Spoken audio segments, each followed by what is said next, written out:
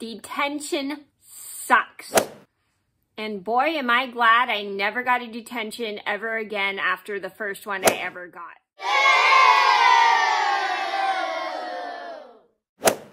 Hello everybody, it's Mena. Welcome back to my channel, or if this is the very first video that you're seeing of me, then welcome to my channel. Please be sure to hit that subscribe button down below if you haven't already. I post every day except for Tuesday and Friday afternoon sometimes.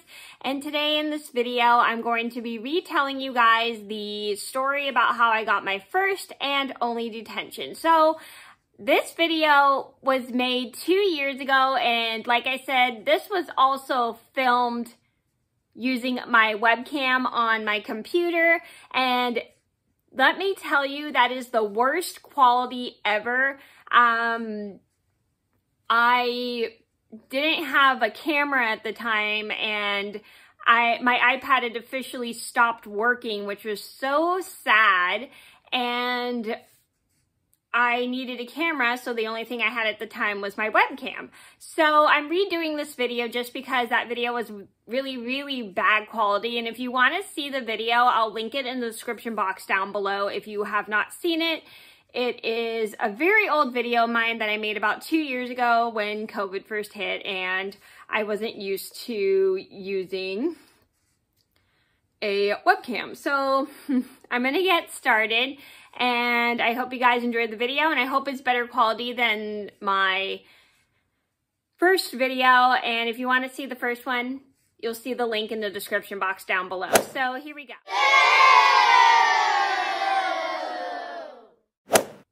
So this began all about 15, about 15 years ago. I was a freshman in high school and at that time I was going to a local private school that did all the schoolwork on computers. So at this school I went to, we would have after school chores. I know that sounds kind of weird, but some, but what can you do? Every school has their own certain rules. But anyway, so we had certain chores we had to do, like we were assigned, kind of like at the house. If you run a house or you live with a family in the house, you have to do chores to help around the house. So one of the chores, so we had to do certain chores, like either someone had to vacuum, someone had to dust, or someone had to do whatever they were assigned to. My chore was to empty all the garbage cans in the classrooms. So I think it it was a um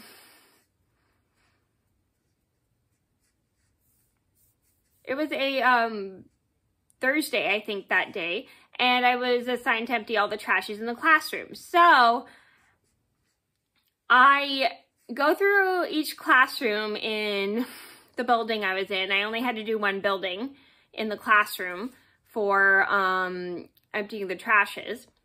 And I grabbed a bunch of the garbage bags, put all the garbage bags in one bag that was full, full, and each bag I had was full of garbage and I put, I pick it up and little did I know there was trash left all over the floor in the classroom and I don't remember if I dropped it or if someone left garbage and I didn't see it. So I go and throw all the trash away and then I put a bag in um, in each trash can. So I think my chore is finished and then I go home and ride with whoever picked me up. I think my mom's friend picked me up or was it my, um, oh no, it was my carpool for one of my, one of my schoolmates I went to school with that I knew from a speech class in middle school. So anyway, wait, um, because it was the very, no, actually, sorry, I'm confused. So because it was a, I think Thursday that day, the very next day, I run into my history teacher and he tells me, Mena, you have a detention and I'm I'm a little confused. And I, so I'm confused. I'm like, what did I do to get detention? You didn't finish your chore and you left trash on the floor. Oh, wow, that rhymed. I didn't even, wow, that rhymed. Am I writing a poem? No, I'm not. Anyway, um, I thought I just had that in for a laugh. Anyway, so my Like, you have a detention, Mena. Uh, Mena. I was like, what did I do? He's like, you left trash on the floor and you didn't finish your chore. I was like, oh. So, you have a lunch detention for 15 minutes. And it was my birthday that day, so I did make a joke saying, oh, I got a gift from my teacher saying I got a detention for my birthday.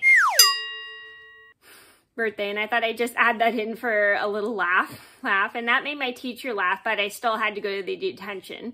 So because it was a Friday that day, the following Monday, I go to the classroom I have my 15 minute lunch detention in, and I sit in the classroom for 15 minutes and I don't do anything. Excuse me? And I don't do anything.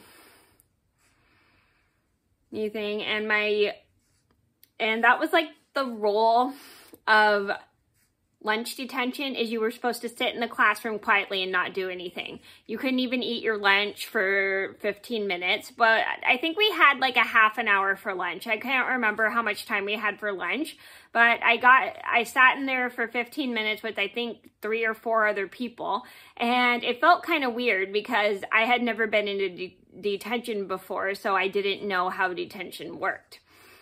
Worked. So I sat in, sat in there for 15 minutes and do nothing because that's how detention happens.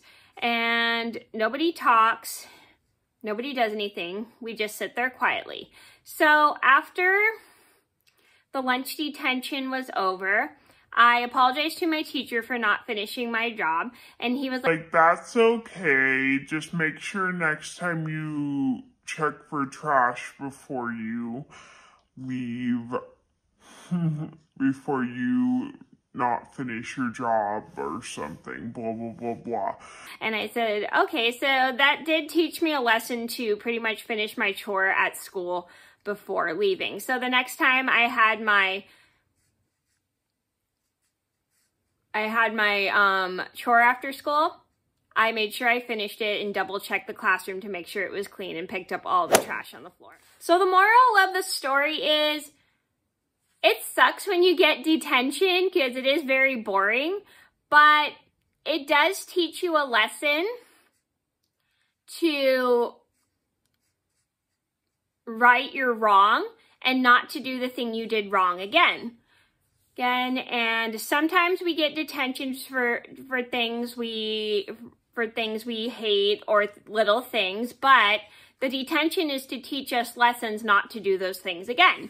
And so, so to avoid getting detention, make sure you follow the school rules, like whether you have to follow a dress code or you have to follow the lunch rules or follow the rules not to be loud in the hallway, right? Or just basically just whatever, just follow the rules at school so you don't get in trouble and get detention because nobody wants to be in detention because detention is very, very, very boring. Trust me, you sit there for a while and you have nothing to do. You're not allowed to draw, be on your phone, or do homework or do anything. You just have to sit quietly.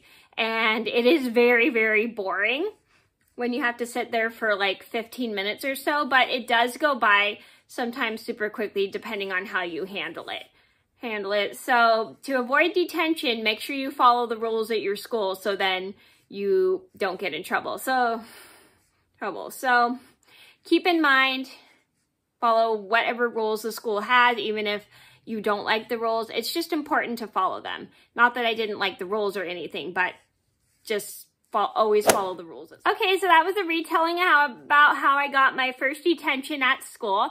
Again, if you didn't see the first video, I'll leave the link in the description box down below if you didn't see that and feel free to watch that one first if you want to and then go back to this one. Thank you so much for watching. Please be sure to like and subscribe if you haven't already. I post every day except for Tuesday and Friday afternoon sometimes and I'll see you in another video soon.